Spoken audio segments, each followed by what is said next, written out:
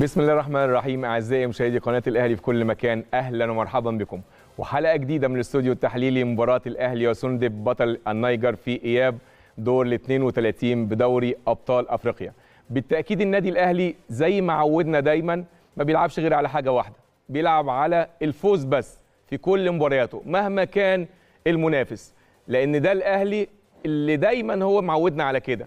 تلاقي منافس قوي منافس ضعيف منافس منافس نص نص. ماتش ودي ماتش ملوش لازمة. برضو الأهلي بيلعب على الفوز وبس. ده اللي الأهلي معودنا ومعودكم عليه. طبعا الأهلي دايما بياخد كل المباريات بجدية لأنها بتبقى خطوة في طريق إحراز البطولات. حتى لو ماتش ودي بيبقى استعداد جدي لبطولة معينة. وده النادي الأهلي. طول عمر النادي الأهلي كده. بيبحث بس عن الفوز والبطولات. وكل ماتش النادي الأهلي بياخده كأنها بطولة خاصة.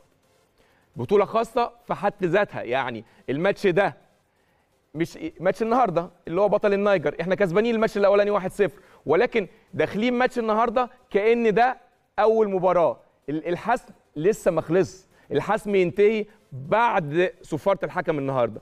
لأن الماتشات اللي بيحاول البعض بيستهين بيها ممكن تخرجك من بطولة. وإيه؟ بطولة إيه كمان؟ الناس كلها بتتمناها وعمالة تقول من بعد ما خدنا التسعه العشرة يا أهلي. فالماتشات ال... وخلي بالكم خلي بال حضراتكم يعني الحاجات دي حصلت لنا إحنا كمان كتير قبل كده. أو حصلت لنا مر... ثلاث أربع مرات مثلا. اللي لما بتلاقي مثلا فرقة تحس إنها ضعيفة وإنت كسبان هناك تيجي هنا بتلاقي شكل متغير تماما تماما. عشان كده لو حضراتكم بتتابعوا تدريبات النادي الأهلي وتدريبات الأهلي من تحت لحد فوق. اللعيبة ما عندهمش غير حاجة واحدة بس المكسب.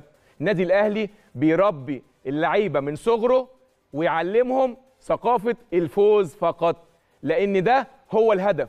والهدف الأعلى والأسمى والأكبر هو منصة التتويج دائما. دي حقيقة بتتوارثها الأجيال في النادي الأهلي. ورغم إن دولاب النادي الأهلي مليان بالبطولات وبالكؤوس إلا إن الرغبة في مواصلة البطولات دايما مستمرة على مدار الأجيال. طبعا أي حد ممكن يقول إيه؟ بينتمي طبعا لنادي زي بحجم النادي الأهلي يقول لك إيه؟ طب أنا الفروقات بيني وبين اللي بعديه كبيرة قوي والدولاب بتاعي مليان بطولات ومليان كؤوس. يعني الواحد ممكن يريح شوية ويعتمد على التاريخ دوت يقول إيه؟ لما يبقوا المنافسين يقربوا مني شوية أبقى أرجع أنا الملعب تاني. لا لا لا لا, لا. الكلام ده مش موجود خالص عندنا في النادي الأهلي.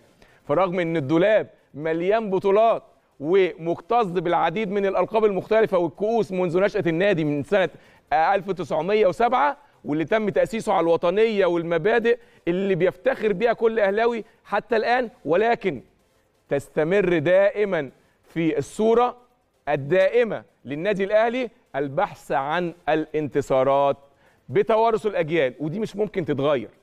خلي بالكم اتغيرت أجيال اتغيرت إدارات ولكن المارد الأحمر دائما صاحب اليد العليا في مصر وأفريقيا والشرق الأوسط.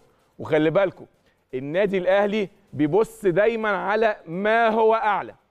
النادي الأهلي بدأنا بعد ما خدنا تقريبا مش تقريبا البطولات كلها السنة اللي فاتت الدوري وأفريقيا وكأس مصر بدأنا بقى في 2021 إن إحنا نبص بقى على العشرة المنافسة بقى على كل البطولات. بدأنا بالدوري وبعدين عندنا النهارده الماتش العودة مع بطل النيجر وإحنا كسبانين 1-0 ولكن عندنا هدف قدامنا. الهدف الأول زي ما قلت لكم بطولة الدوري وإن إحنا بنسعى للوصول بقى لرقم 43 بعد ما خدنا رقم 42 ودوري أبطال أفريقيا برغم إن إحنا كسبنا الماتش اللي فات وناس تقول لك إيه في فروقات كبيرة جدا بين الأهلي والبطل النيجر والماتش يا عم اتحسم الماتش اللي فات في النيجر لا النادي الأهلي بيبص الماتش النهارده إن ده اللي هيوصله لمنصة التتويج بالبطولة العشره إن شاء الله. وبعدين يعني إحنا هدفنا بالدوري واللقب العاشر وكمان بنبص كاس العالم للأندية اللي هيتلعب الشهر اللي جاي إن شاء الله. يعني الأهلي كبير دايما. الأهلي كبير في كل مكان. تلاقيه دايما متواجد مع أساطير العالم. ماتش الأهلي مع سونيديب النهارده بطل نيجر في الساعة السابعة إن شاء الله. الأهلي زي ما قلنا مش عايز انتصار بس. إحنا كسبنا الماتش الاولاني لكن النهارده المواجهة دي برضه هنقول إنها ما اتحسمتش لحد دلوقتي. نظرتنا أبعد من كده.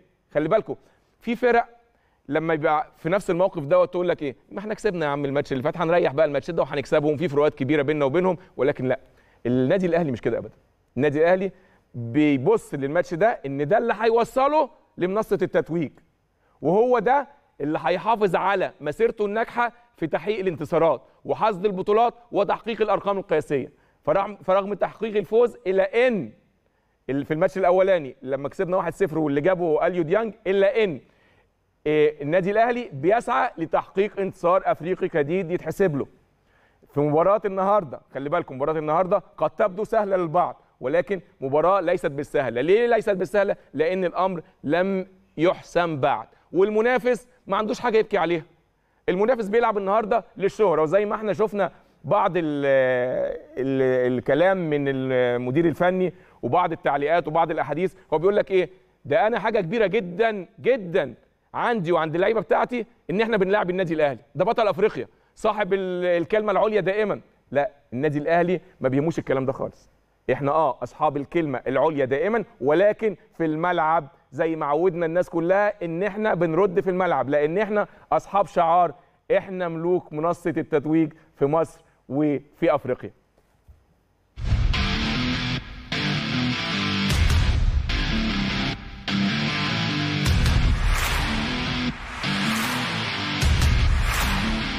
الفوز فقط هو ما يبحث عنه النادي الأهلي حتى لو كان في مباراة ودية. لا يعرف الأهلي سوى لغة الانتصارات. التعادل بالنسبة له يمثل خسارة. اللاعبون يشاركون في التدريبات بهدف الفوز في التقسيمه حتى في التدريبات لا يرغبون في الخسارة. هذا هو الأهلي. هكذا يربي الأهلي ناشئيه ويعلمهم اللعب للفوز فقط وأن يكون هدفهم منصة التتويج دائما. لا يعرفون في الأهلي سوى التربع على القمة. هذه هي الحقيقة التي تتوارثها الأجيال. فدولاب البطولات مكتظ بالعديد من الألقاب المختلفة منذ نشأة النادي عام 1907 والذي تم تأسيسه على الوطنية والمبادئ التي يتفاخر بها كل أهلاوي حتى الآن وتستمر في العصور القادمة. فهناك مبادئ راسخة لا تتغير بتغير الأجيال والإدارات. فهو المارد الأحمر صاحب اليد العليا في مصر وإفريقيا والشرق الأوسط بل ينافس الأندية العالمية فهو في مكانة أخرى. رغبة الاهلي بالانتصارات والبطولات لا تتوقف عند رصيد معين أو جيل بعينه ولكن هذه رغبة تتوارثها الأجيال وهو ما تؤكده الأحداث التي نراها على أرض الواقع في الوقت الحالي وأقرب الأمثلة العام المنتهي. حيث توج المارد الأحمر ببطولته المفضلة في الربع الأخير من العام للمرة الثانية والأربعين ولم يتوقف بل سعى لما هو أبعد من ذلك وحقق دوري أبطال إفريقيا على حساب الزمالك ولم يتشبع لاعبوه بالبطولات بل لديهم إصرار على حصد المزيد من البطولات حيث توج المارد الأحمر الشهر الماضي ببطولة كأس مصر السابعة والثلاثين ليحقق الثلاثية في موسم تاريخي يتغنى به الجميع. ولم يتوقف بل بدأ مشوارا جديا في بطولات جديدة وهي الدوري المحلي باحثا عن اللقب الثالث والأربعين لإضافة المزيد من البطولات. كما بدأ مسيرته ليبحث عن استمرار الأميرة الإفريقية في مكانها بدولاب القلعة الحمراء. الأهلي في مواجهة سونيديب بطل النيجر في السابعة من مساء اليوم لا يبحث عن الانتصار في هذه المواجهة فحسب ولكن هناك نظرة بعيدة للمارد الأحمر وهو كيف يصل لمنصة التتويج ويحافظ على مسيرته الناجحة في تحقيق الانتصارات وحصد البطولات. فرغم تحقيقه الفوز خارج ملعبه على بطل النيجر بهدف نظيف للمالية أليو ديانج إلا أنه يسعى لتحقيق انتصار إفريقي جديد في مباراة ليست بالسهلة. لأن المنافس ليس لديه ما يبكي عليه ولكن يلعب للشهرة أمام بطل إفريقيا. فيما يرفع الأهلي شعار إحنا ملوك منصة التتويج في مصر وإفريقيا.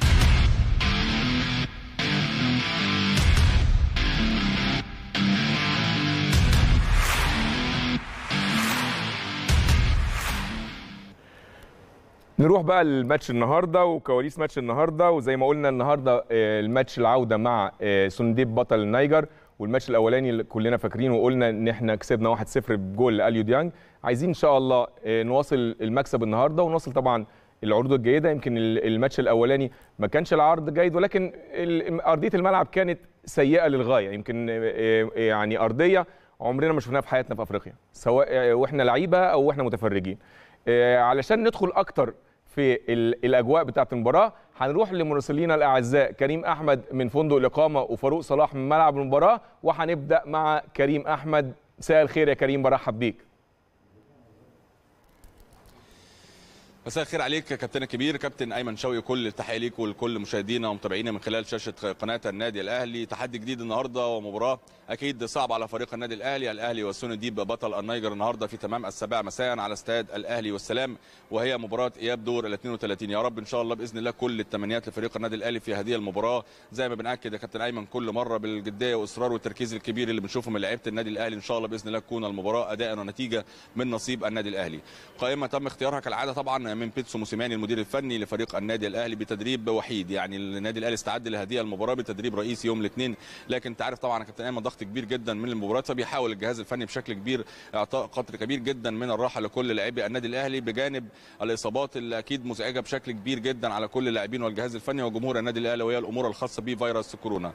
أمر بنتمنى إن إحنا ما نشوفوش في ملاعبنا وتحديدا كمان مع لاعبي النادي الأهلي. يا رب إن شاء الله بإذن الله يحافظ عليهم الفترة اللي جاية رغم التحذيرات ورغم طبعا الإجراءات الطبيه والاحترازيه والوقائيه المشددة جدا من النادي الأهلي والجهاز الطبي لكن ده أمر أكيد بيكون مجهول لكل اللعيبه بتدخل تعمل مسحة بتطلع ما تبقاش عارف هل هيبقى عندك ولا لأ.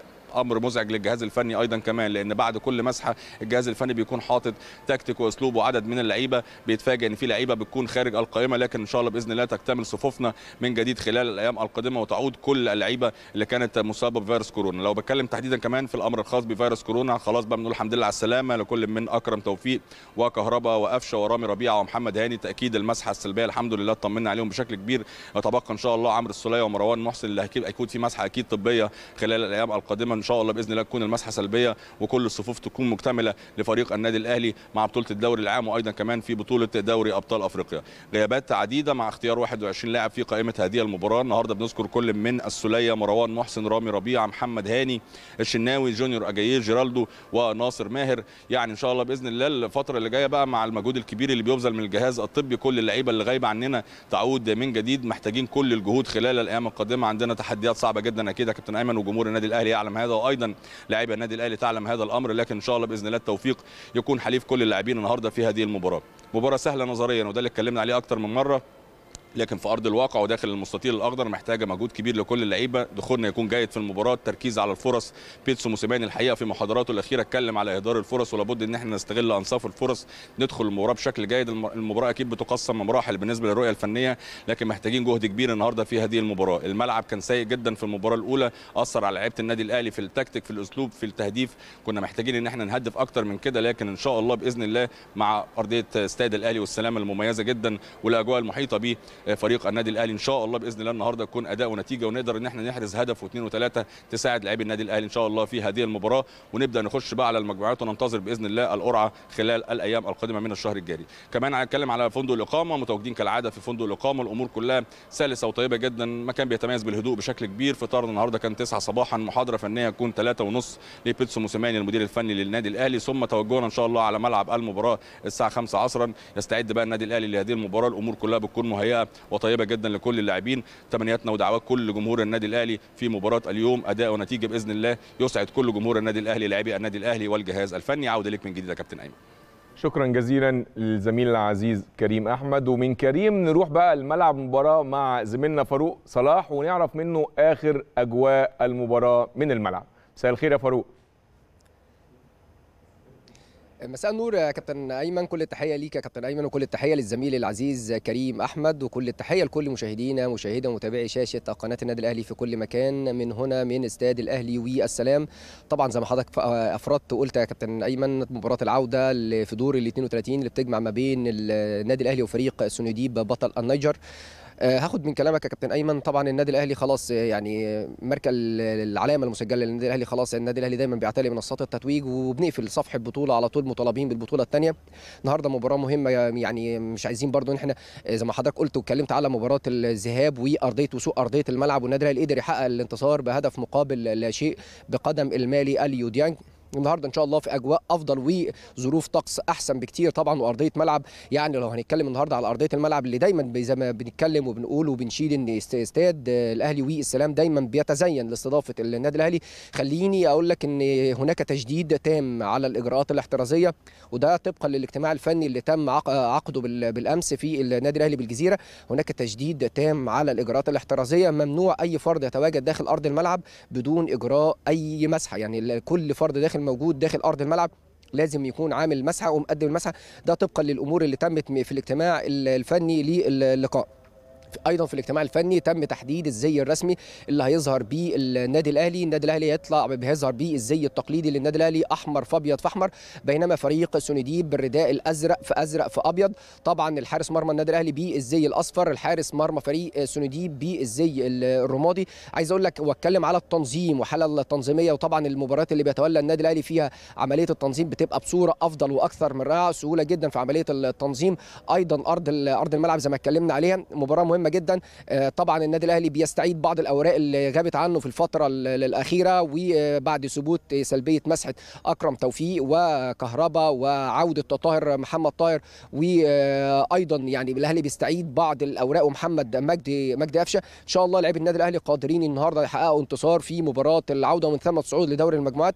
أقول لك أيضا يا كابتن أيمن إن الاتحاد الأفريقي كان أعلن طاقم تحكيم لإدارة هذا اللقاء بقيادة الحكم التونسي يسري أبو علي حكم الساحة يعاونه أيمن إسماعيل مساعد أول فوزي الجريدي مساعد ثان ومحرز الملكي حكم رابع ويراقب المباراة من قبل لجنة المسابقات الخاصة بالاتحاد الأفريقي السوداني أمير عثمان. دي كانت كل الكواليس كل الأجواء من هنا من ملعب الأهلي والسلام. إن شاء الله كل التوفيق لفريق النادي الأهلي. إن شاء الله فوز في مباراة اليوم إن شاء الله والصعود والصعود لدوري المجموعات. وإن شاء الله يا كابتن أيمن زي ما إحنا يعني متعودين إن شاء الله. النادي الأهلي ولاعيبه النادي الأهلي قادرين إن شاء الله على تكملة المشوار وتحقيق البطولة العاشرة بإذن الله.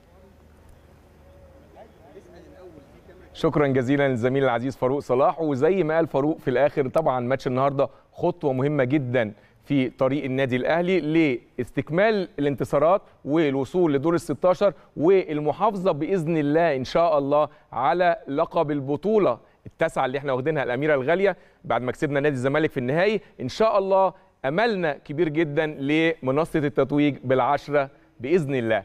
هنروح لفاصل وبعد الفاصل هنرجع نستقبل نجومنا الكبار اللي هيشرفونا النهارده. كابتن شريف عبد المنعم كابتن علاء ميهوب كابتن أسامة عرابي والكابتن عادل عبد الرحمن أرجوكم انتظرونا.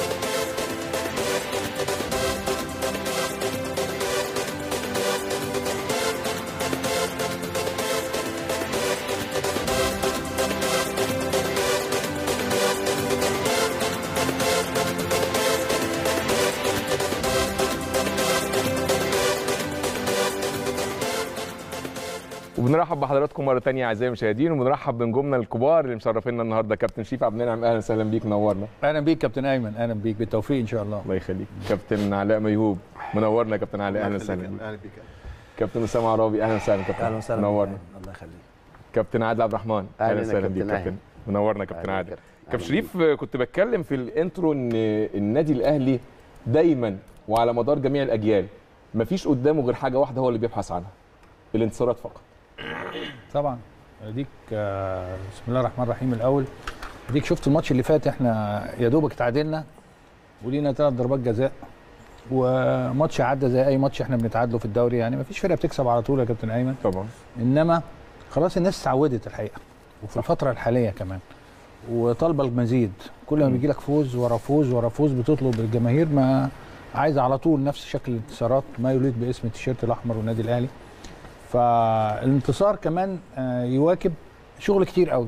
صح. وانت حاسس ان الدنيا كلها والمؤسسة عندك كلها بتشتغل بقدم وساق يعني. الحقيقة ما فيش تهريج ما فيش كله مركز كله عنده هدف واحد اللي هو البطولات. زي ما اتعودنا حتى وإحنا كنا في النادي الأهلي وصغيرين على البطولات بس لما بنتعادل ماتش ولا بنخسر ماتش تبقى حكاية إحنا مش متعودين عليها ولا متربيين عليها. زي ما انت قلت وتفضلت آه، المكسب آه، هو الشكل الأمثل للكرة الأفريقية في صاحب آخر بطولة والتسع نجوم هو النادي الأهلي. فدايما مطالب بالمحافظة على هذا التفوق يعني. صحيح. كابتن علاء أكيد آه، كلاعب وكمدرب قبل كده وسواء قطاع الناشئين أو في الفريق الأول ليك رؤية في حتة ال- النادي الأهلي دائما وابدا بيبحث عن الفوز زي ما قال الكابتن شريف مثلا إحنا لسه واخدين ال- البطولات السنة اللي فاتت كلها وكسبانين وناهين الموسم كويس قوي. ومع ذلك الماتش اللي فات لما تعادلنا مع وادي دجلة وده شيء طبيعي جدا ممكن يحصل في كرة القدم إلا إن كلنا زعلنا. هو طبيعي في كرة القدم بس في مع جماهير النادي الأهلي ولعيبته مش طبيعي. تحس إن هو اليوم يعني اللي هو إزاي اتعادل؟ ودي مش من فراغ يا أيمن. دي أنا هتكلم دي حاجة أنت أنا اتكلمت فيها من فترة وانت في الناشئين بتتعود على كده. وقت ما تحط رجلك في النادي الأهلي في حاجات بتطبع بيها وأول طباع عندك إنك مفيش حاجة اسمها مركز تاني انت صحيح. بتلعب على بطولة من مدرسة الكورة ل 14 ل 15 بقى وكل ال- ال- المراحل السنية دي انت يعني سنة عن سنة انت الح- الحاجة دي بتأثر فيك أكتر. لحد ما توصل الفريق الأول الفريق الأول بقى بتلاقي ناس متعودة على البطولات فأنت داخل مع مجموعة واخدة بطولات بتحب البطولات وانت متعود وانت صغير. ما هو دايما بيقول كده في مثل البلدي يقول لك يعني ابنك زي ما تعوده صحيح. هو إحنا كلنا أولاد النادي الأهلي متعودين في النادي ان مفيش حاجة اسمها غير بطولات أيوه مكسب. بتلعب مباراة حتى مباراة الودية مباراة مباراة الاعتزال يا أيمن. والله ما كنا بنلعبها اللي هو ما اعتزال وكل حاجة وجميع. أنا عايز أفكرك بحاجة.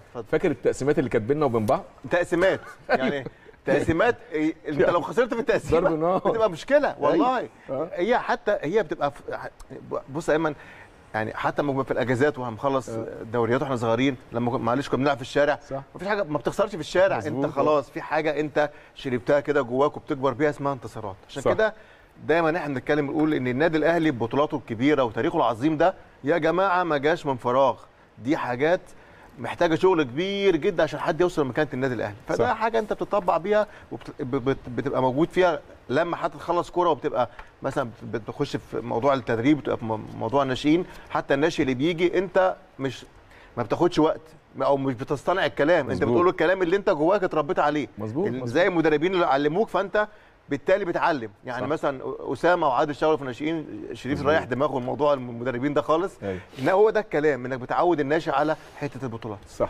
كابتن أسامة زي ما قال الكابتن علاء أنت يمكن عاصرت بنفسك أكتر من جيل سواء كنت لعيب أو كمان لما مسكت في الجهاز الفني. شفت بنفسك الكلام دوت على الطبيعة؟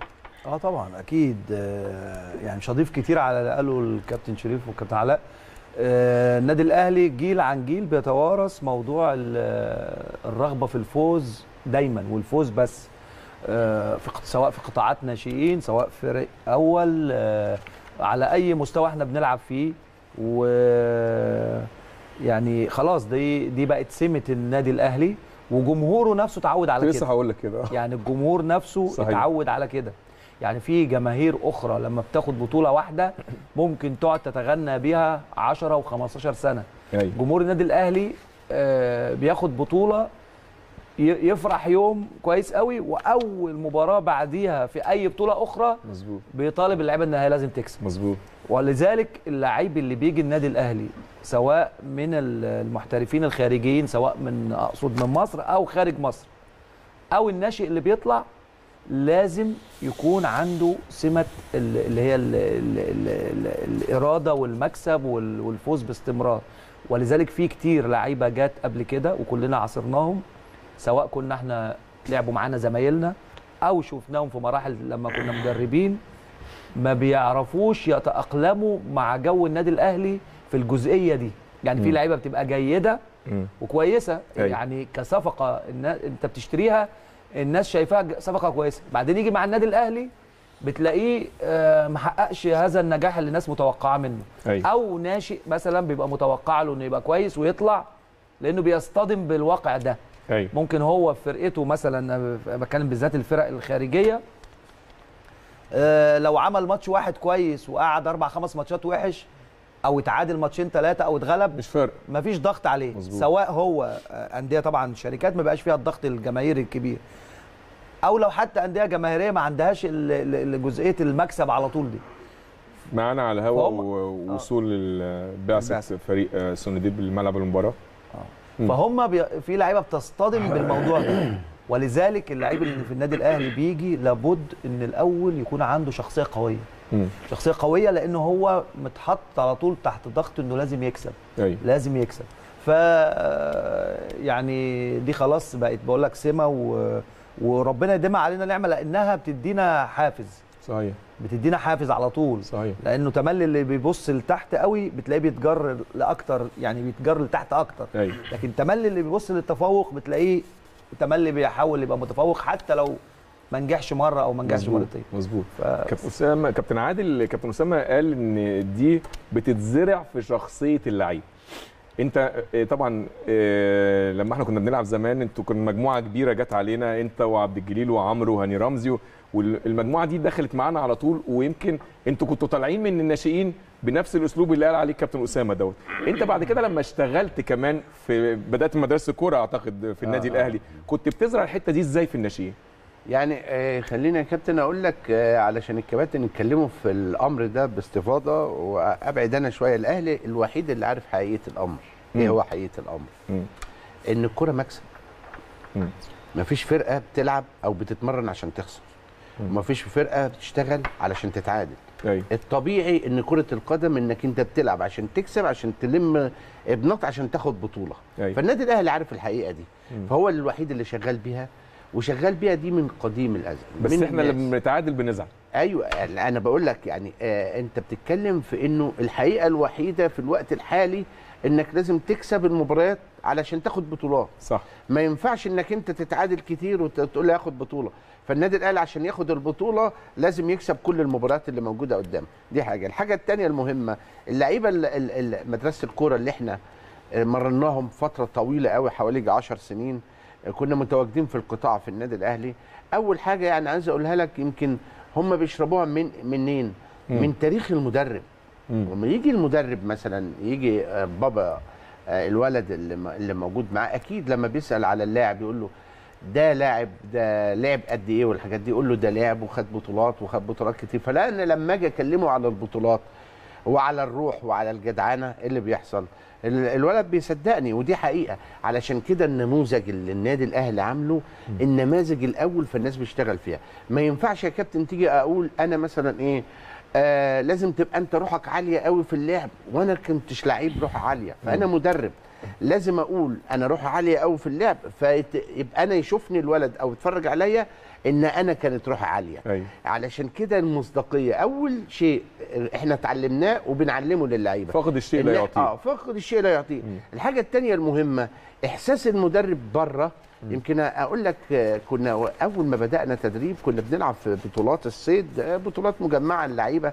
كان هشام محمد شكري عفروتو والناس دي كلها. مرة اتغلبوا ما بقاله قعدوا ثلاث أيام يعيطوا. أيوة. دي الروح. إحنا لما شفنا كده اتبسطنا قلنا خلاص يعني الرسالة بتاعتنا وصلت إن أنت طالع كنادي أهلي وان واي.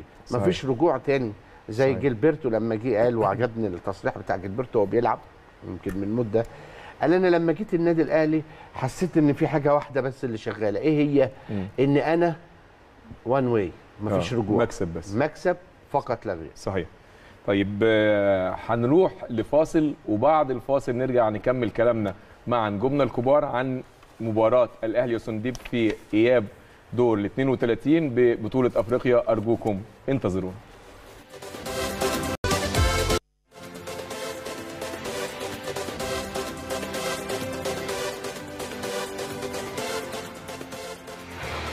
يلتقي فريق الأهلي مع فريق سونديب بطل النيجر في السابعة مساء اليوم. باستاد السلام في إياب دور الاثنين والثلاثين لبطولة دوري أبطال إفريقيا.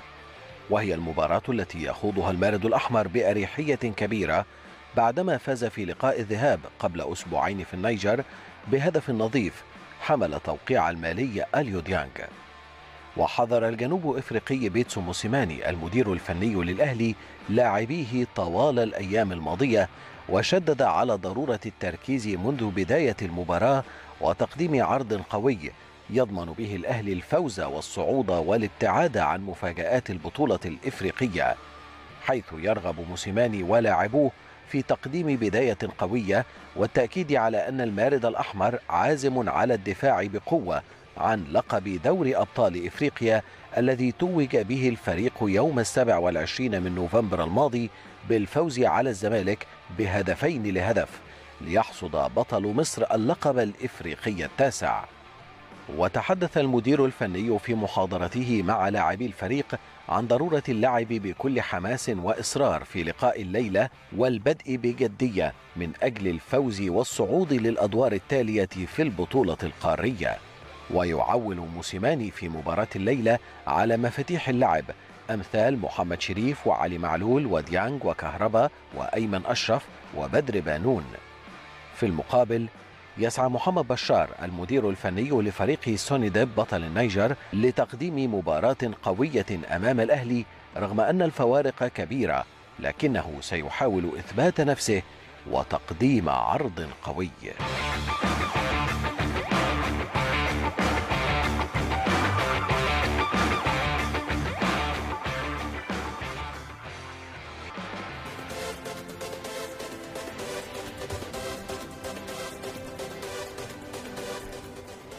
بنرحب بيكم مرة ثانية أعزائي المشاهدين. كابتن شريف زي ما شفنا في الماتش الأول آه، النادي الأهلي تفوق آه، سواء على أرضية الملعب برغم سوء حالة الملعب وكمان تفوق في النتيجة.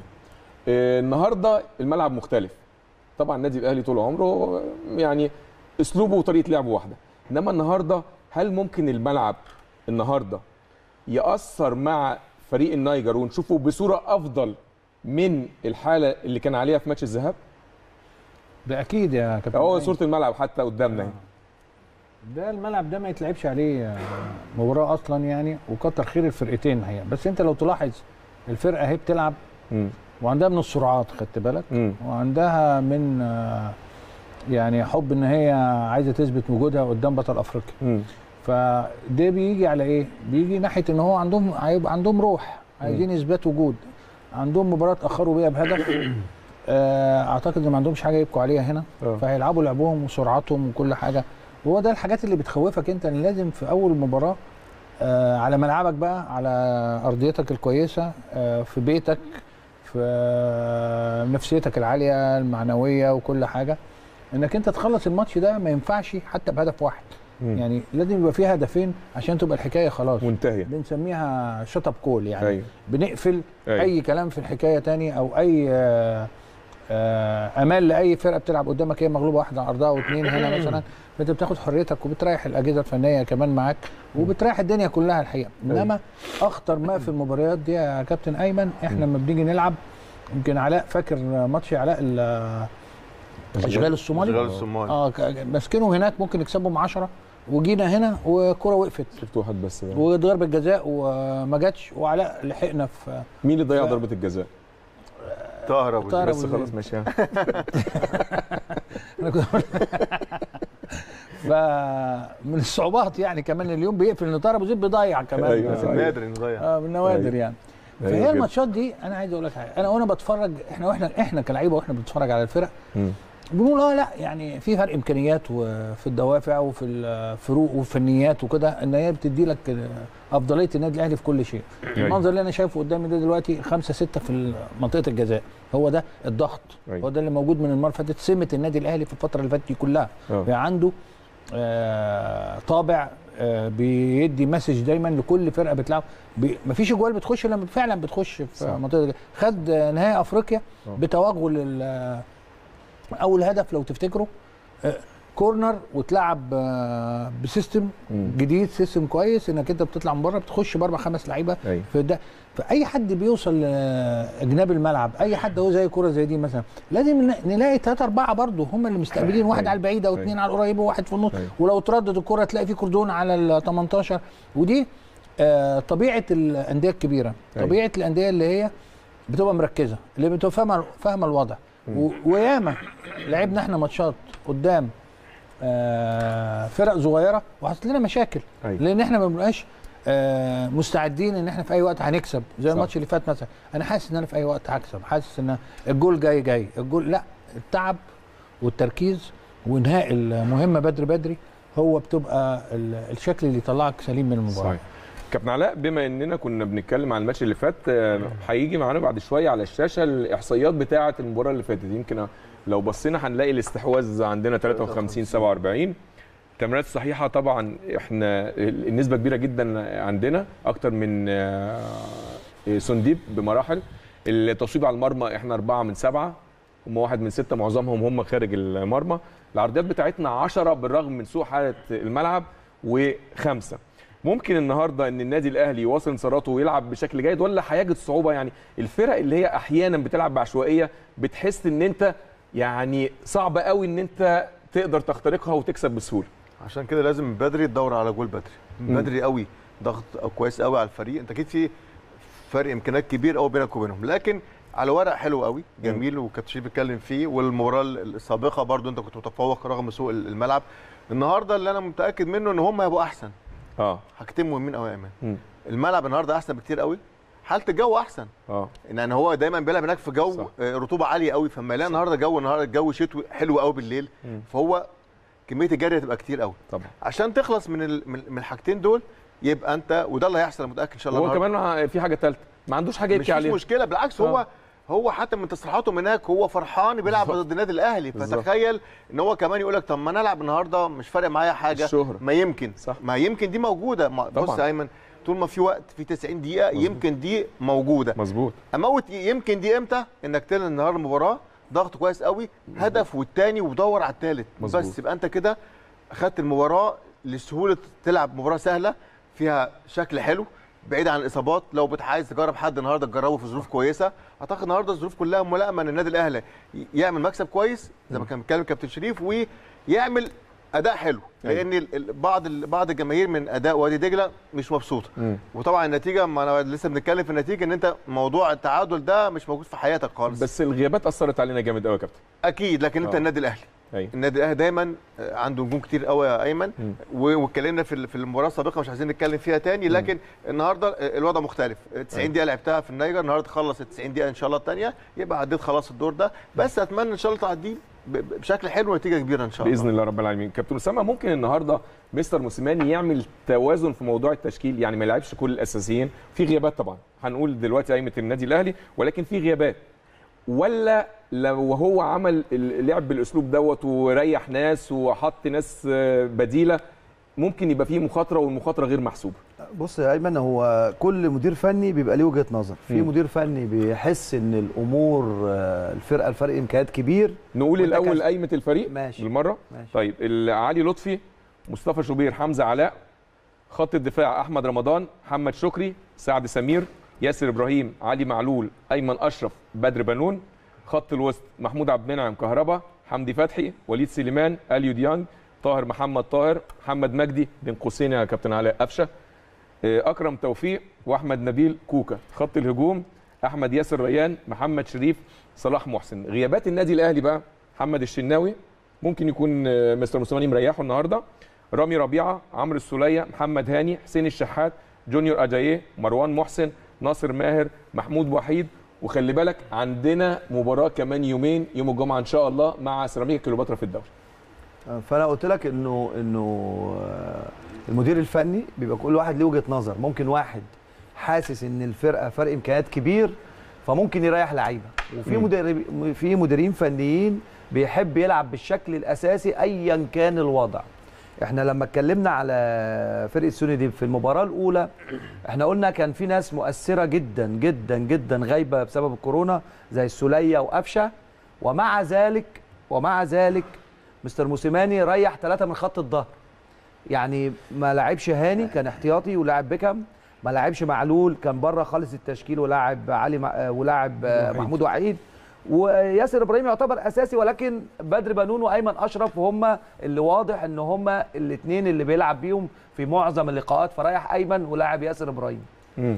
فكوني أنا كمدير فني لما بريح ثلاثة من خط الظهر وكان عندي اثنين مؤثرين من الكورونا. يبقى أنا عارف إن إمكانيات الفرقة اللي قدامي خاصة كانت المباراة الأولى كمان يعني لسه المفروض يستكشف أيوه فمن فرجته عليهم ولما إحنا شفنا الأداء في ال... بين الفرقتين في الملعب رغم إن الملعب سيء جدا ولكن واضح جدا إن النادي الأهلي فرق فروق كبيرة جدا بينه وبين فرقه سونيديب. وقدر رغم الغيابات ديت إنه يجيب جون آه فالنهاردة ممكن ال- السؤال اللي أنت سألته بقى ممكن مستر موسيماني يلعب بناس أساسية مم. اللي هي بتلعب على طول أيوه ولكن أنا متوقع إنه هيريح بعض الناس مم. وأولهم محمد الشناوي. محمد الشناوي ما بيريحش في أي مباراة بقاله سنتين أو ثلاثة كل المباريات بيلعبها سواء آه، مستواها عالي قوي أو مستواها أقل. أيوه فاول خطوة دي كونه إن هو بيريح محمد الشناوي مش تقليلا من علي لطفي ولا مصطفى شوبير طبعا إجوان كويسه ولكن هو الأساسي. أيوه فده بقى أول مفهوم عنده إن هو في فروق كبيرة. أيوه والنادي الأهلي لو رغم إن الملعب كويس دلوقتي. والنهارده يعني وأحسن من الملعب اللي هناك وهم ادائهم هيتحسن نسبيا في الأداء طبعاً، طبعاً. ولكن هتلاقي مساحات في خط ظهرهم غير طبيعية زي ما اتكلمنا على الفرق الإفريقية عامة وبالذات الفرق اللي هي آه، يعني برضو النيجر مش مش مش فرقة عريقة في الكورة قوي والفرقهم مش قوية قوي كان واضح هناك حتى بسوق الملعب إن الاهلي مسيطر وهو آه. المستحوذ وفي مساحات كبيرة. هو هناك بيلعب ثلاثة في في خط الخلفي الراجل المدرب الغاني بتاعهم. أيوه الجنبين كانوا فاضيين جدا. صح. يعني كان في مساحات رهيبة فالنهاردة حتى الأطراف بتاعتنا ممكن تستغلها كويس قوي. فأنا أتوقع إن مستر موسيماني ممكن يريح بعض اللعيبة. ودي باينة من الشناوي اللي هو من أهم الناس آه، في الفرقة. فأنا ده اللي متوقعه إنه ممكن آه، يستغنى عن بعض اللعيبة الأساسيين النهارده. طيب إحنا ممكن نقول التشكيلة قبل ما نروح للكابتن عادل. هيبقى معانا آه، علي لطفي في حراسة المرمى ناحية اليمين أحمد رمضان آه، ناحية الشمال علي معلول الاثنين اللي في القلب ياسر إبراهيم بدر بنون قدامهم اثنين في نص الملعب ديانج حمدي فتحي قدامهم وليد سليمان على الطرفين محمد شريف وطاهر محمد طاهر وقدام أحمد ياسر ريان. نقولها مرة ثانية علي لطفي في حراسة المرمى. ناحية اليمين أحمد رمضان. ناحية الشمال علي معلول. الاثنين اللي في القلب بدر بنون وياسر إبراهيم. الاثنين اللي قدامهم نص الملعب ديانج حمدي فتحي. خط الأمامي وليد سليمان طاهر محمد طاهر محمد شريف وقدام أحمد ياسر ريان.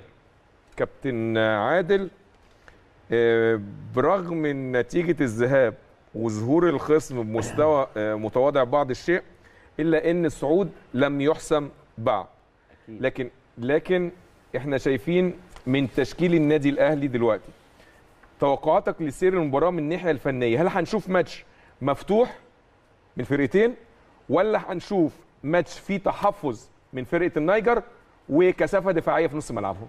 قبل ما نروح لدي تعالى نسأل ونقول هي الفرقة الملعب السيء بيفيد الفرقة اللي مهاراتها أعلى ولا اللي مهاراتها أقل؟ يعني هم ده ملعبهم المفروض يكونوا واخدين عليه. أيوة. إحنا لعبنا أحسن منهم. وكسبناهم.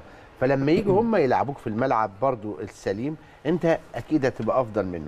آه هيلعب كرة أسرع ولكن أنت هتبقى أفضل منه. فالنهاردة اللي أنا عايز أقوله لك إن المباراة هتبقى بداية لازم النادي الأهلي يأمنها كويس عشان كده مستر موسوماني عامل كده أيوة. بدليل مم. إيه التغييرات اللي اتعملت أو طرقت على تشكيلة الفريق مم. أنا شايف إنه هو الشناوي عندك معلول بيلعب ياسر إبراهيم كان بيلعب مع بدر بنون هو وأشرف أيمن أشرف أحيانا أيمن أشرف واحيانا هو أيوه رمضان بيكم لعب آخر مباراة اللي فاتت عشان كان محمد هاني أصلا كان مصاب أو عنده كورونا.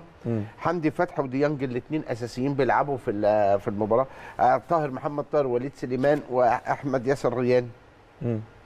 كلهم أساسيين. يمكن أحمد ياسر ريان بياخد آه، زي ما بياخد آه، ال- الفراوده موجودين. يعني أنت بتتكلم على تقريبا 90% من 90% التشكيل مين الزيادة؟ مين اللي النهارده بادئ النهارده. أحمد ياسر وأحمد ياسر من اللعيبة الكويسة قوي الفراودة اللي عايزة فرصة. أحمد ياسر وعلي لطفي. وعلي لطفي آه، لكن أحمد ياسر من الفراودة اللي عايزة فرصة وفرصة أيوة. كويسة قوي لأنه هو هداف كويس. وهيبقى حاجة كبيرة قوي هيساعد محمد شريف وهيساعد الناس دي كلها. بس ممكن- عايز ماتشات عايز ياخد. عاوز ماتشات. ما أنت م- المشكلة عندك في الوقت الحالي أنت عندك كام فرود كويس طالع؟ مم. تمام. ولكن الأمر اللي اللي أنت عاوز لعيبة تبقى اساسيه عاوز تبقى التشكيل بتاعك يبقى مثالي عاوز التشكيل بتاعك يبقى دائما ما فيهوش تغييرات كتير. أيوة. ولكن اللي أنا عايز أقوله لك النهارده النادي الأهلي لازم يأمن أول حاجة ينهي المباراة زي ما الكابتن علاء قال كلمة مهمة قال إنه ينهي المباراة بواحد واثنين ونخلص وبعدين نعمل الاهداف الأخرى.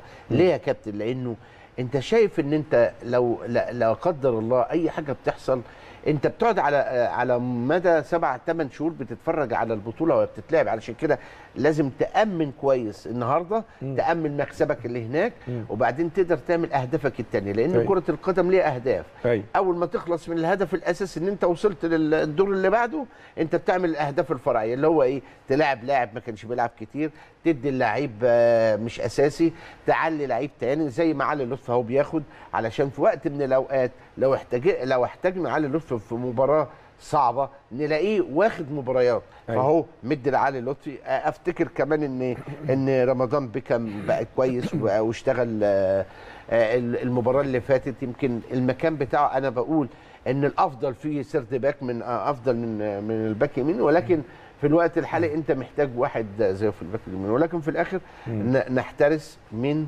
أداء ال- الفرقة اللي هي عشوائية دي حقيقة. ولكن ما عندهاش حاجة تبكي عليها. بلغة الكورة أنا بقول عشوائية بلغة الكورة مفيش حاجة بتبكي عليها. عشان كده الخطورة لازم تمحيها من الأول ولازم تجيب أهداف مبكرة. كابتن شريف آه، يمكن برضه هنقول البودلاء. البودلة هيبقى مصطفى شوبير محمود كهربا أيمن أشرف صلاح محسن محمد مجدي قفشة سعد سمير أكرم توفيق. كابتن شريف آه، رؤيتك لتشكيل النادي الأهلي النهارده وزي ما إحنا عارفين النادي الأهلي ما بتغيرش ابدا طريقة لعبه. بيبدأ هجوم ضاغط من بداية المباراة لحد نهاية المباراة يمكن. بيفرض سيطرته من الأول على أساس أو على أمل إن هو يحرز هدف مبكر وبعدين بعد كده خلاص بتبقى تقريبا الاستحواذ والسيطرة للنادي الأهلي بقية المباراة. هي الحقيقة زي ما أنت بتقول كده هي سمة آه، مستر موسيماني يعني. حتى بيحضر من تحت كتير قوي وبيخلي الأطراف بتاعته آه، في حالة تصاعديه خلال نقلة الكورة. آه، غير إن هو زي ما قال عادل وكباتن قالوا النهارده في توازن كبير جدا في في التشكيل يعني. تشكيل آه، فيه آه، عناصر كبيرة جدا زي علي معلول مثلا وبنون وياسر إبراهيم ذو خبرة وأحمد رمضان بيكهام. إحنا مش هنقيم أحمد رمضان بيكهام كلاعب إحنا بن إحنا بنقيم وجوده في هذا المكان يعني. أيوة. آه ومش هيبقى نجم في المكان ده بين يوم وليلة يعني. مفيش حد بيبقى بياخد ال ال التفوق أو العلامة ال- الكاملة من أول مباراة يعني أيوة. يعني وحسب حالة الفريق كمان وحسب الظروف اللي أنت بتمر فيها فأنا اللي عايز أقول إن إحنا أحمد رمضان بيكهام زي ما قال عادل ممكن يبقى عدلته أيوة. يبقى بيلعب في نص الديفندرز إنما آه، أدام أنا عندي لعيب يستطيع إن هو يوصل لغاية خط 18 الثاني ويقدر. يعمل عرضيات وكمان النهارده ممكن تلاقيه هايل فهل هن- هنتخبط بقى بين المباراة اللي فاتت والمباراة. دي لا إحنا اللعيب بنفسه هو اللي بيفرض اداؤه في الملعب هو اللي بيفرض كل ما بيلعب بيزيد كل ما أيوة. بيكون الكوره في رجليه بتزيد عندك حمدي فتحي وأليو ديانج يعني ما فيش أنا مش شايف تشكيل يعني تغيير بعودة. السولية إن شاء الله بإذن الله يعني هتكمل الشكل ال- أيوه نص الملعب وليد سليمان وإحنا اتفرجنا عليه المباراة اللي فاتت الحقيقة من آه، وقت قليل في المباراة من تلت ساعة ل 60 70 دقيقة. يعني في خبرة جامدة جدا من playmaker لدخول جوه ال 18 يحرز هدف في أي وقت يفاجئك بضربات ثابتة بكل حاجة. طاهر محمد طاهر لعيب class يعني يعتبر من اللعيب اللي هو ال A class اللي هو موجود في الفرقة. ابتدى الماتش اللي فات لولا الإصابات برضو العين اللي بتيجي عليه بتبقى كتيرة. بإذن الله نتمنى له عدم الإصابات بعد كده. آه، محمد شريف وأحمد ياسر ريان الاثنين سمة واحدة في في في التبادلية. أيوة. يعني يقدر يريح محمد شريف ويخش مكانه وهو يطلع على الطرف شوية ومش هيبقى راس حربة. هو بيتحرك عرضيات كتير قوي أحمد ياسر ريان آه. لعيب كويس. مم. عايز برضه زي ما قال عادل عايز يلعب كتير قوي وكل اللعيبة الحقيقة بما إنك عندك دكة كمان بره آه، فرقة لوحدها. دكة محترمة جدا يعني. ال- الكرات العرضية اللي بتتكلم عنها يا كابتن شريف إحنا عندنا بيبقى كل ماتش آه، كرات عرضية كتير جدا.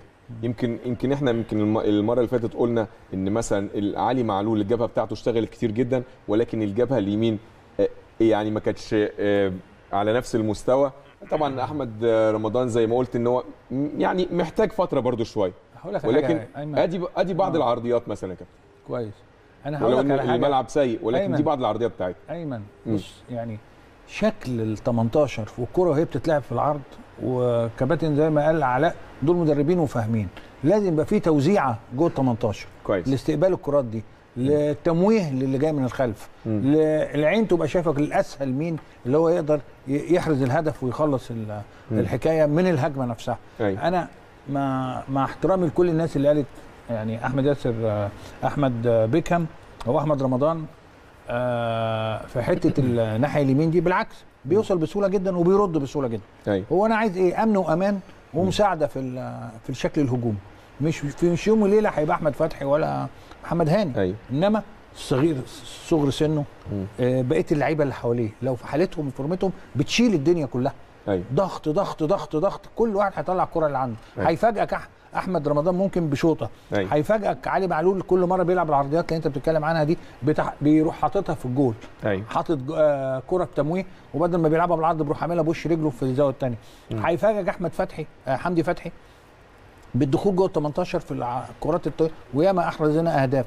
ففي توازن النهارده أنا عاجبني في الفريق آه إن شاء الله لو آه محمد شناوي يعني لو ما فيش أي حاجة يبقى الراجل بيفكر إن هو يشرك حارس مرمى كمان لأنه محتاج حارس مرمى يبقى على نفس المستوى ونفس الأداء مطمن له إن أنت رايح في أفريقيا. أيوه. يعني ومحتاج لعيبة كتير جدا تلعب. زي ما أنت قلت يوم الجمعة ماتش تاني قدام سيراميكا فرقة محترمة برضه. محتاج شايف الدكة اللي عندك بره شكلها عامل إزاي؟ دي فرقة تانية. أيوة. محتاجهم يوم الجمعة. أيوة. محتاج تطعيم من هنا ومن هنا. أيوه. فبإذن الله يكون يعني متوفق الراجل المدير الفني في التشكيلة دي واللعيبة نفسها. الله. تكون تدي كل الإمكانيات اللي عندها عشان نخلص بدري بدري. بإذن الله رب العالمين. كابتن علاء رؤيتك لفرقه نادي الأهلي النهارده والتشكيل وكنت عايز أسألك على حاجة معينة. يمكن المستر موسيماني النهارده آه، بيلعب بنفس طريقة الماتش اللي فات 4 2 3 1 وعايز أسألك في حاجتين.